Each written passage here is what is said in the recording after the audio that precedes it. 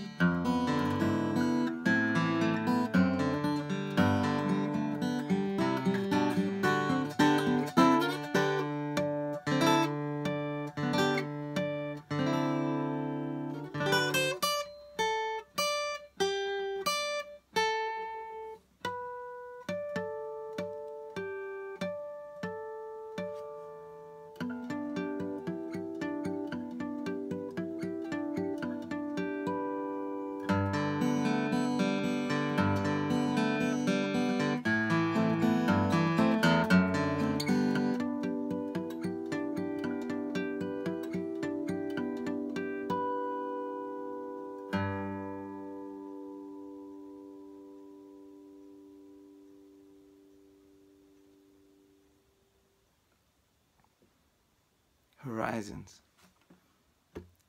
See you next time.